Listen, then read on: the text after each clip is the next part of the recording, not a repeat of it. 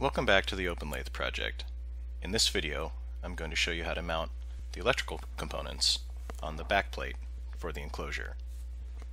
The first thing we're going to mount is the power supply.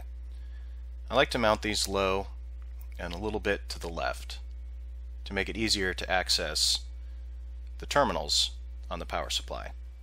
We'll mount the power supply to the backplate with two number 6 by half inch screws and nuts.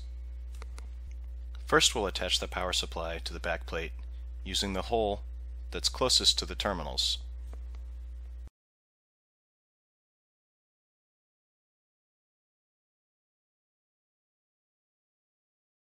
This backplate has eighth inch holes on quarter inch centers. Since this power supply was manufactured using metric dimensions, we're going to have to adjust a little bit to find a hole that will fit the enclosure.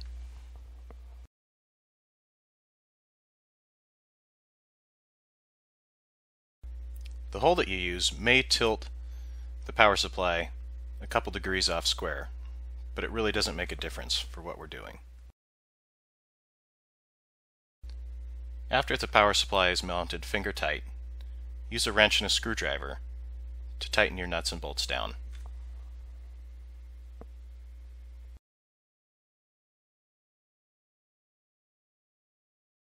The next thing to mount are the two identical stepper drivers.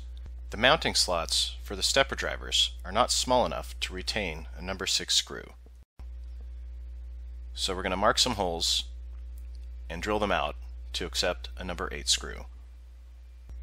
The exact position of the stepper drivers isn't terribly important. You want to keep things tidy and also give yourself room to work. I just split the difference between the top of the enclosure panel and the power supply.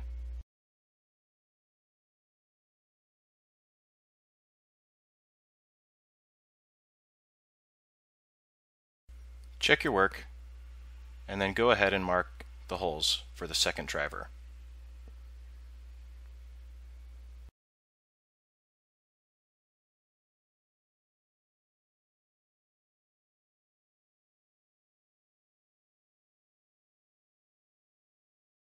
Using a 3 16 inch drill bit, drill out the holes that you marked for the drivers.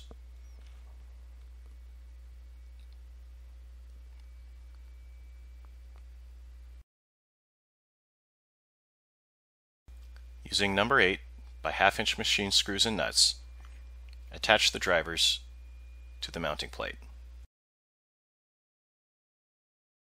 Make sure you go back and tighten everything down with a wrench and a screwdriver. The panel is now ready to be mounted into the enclosure.